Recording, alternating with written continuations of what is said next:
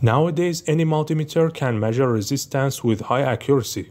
They are using a microcontroller to do that. So I start to asking myself, is it possible to make a digital resistance meter without using microcontroller? We can use the time constant of the RC circuit to do that. The capacitor with known value get charged through a resistor with unknown value. In this case, the capacitor takes C times R seconds to get charged up to 63% of the input voltage. So all we need here is a digital counter that counts with a certain speed and an op amp as a comparator to stop the counter when the voltage of the capacitor becomes 3.15 volts, which is 63% of the 5 volt VCC. I used a MOSFET here to discharge the capacitor before starting the test.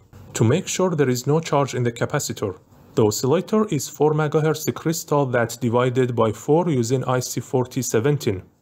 So end up with 1 MHz. If you're wondering why we need 1 MHz, just imagine the resistor under test is 1 megaohm and the capacitor is 1 microfarad. So the capacitor takes 1 second to charge up. After this 1 second, the number 1 million must appear on the display. So the counter needs 1 million pulse per second, which is 1 megahertz. After converting this circuit to PCB, I order it from China.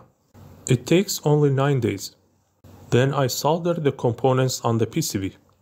This plastic sheet make the 7 segment looks better. Let's test some resistors.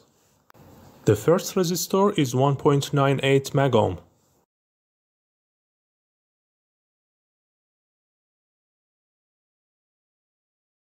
My circuit reading 1.92. The second resistor is 749K. My circuit reading 740K. 100K. 55K. And 10K. For less than 10K the accuracy is terrible. When no resistor connected here, the counter keep counting because the op amp waiting for capacitor charge up, but there is no path to charge the capacitor. I used this high voltage capacitor here because I think the leakage of this capacitor is very low. Here, instead of 470 ohm, I just use 1k resistors. It doesn't matter, just change the brightness of the display. So this is just an educational project because as I said before, any multimeter can measure the resistance. Please like this video and subscribe to my channel. Thanks for watching.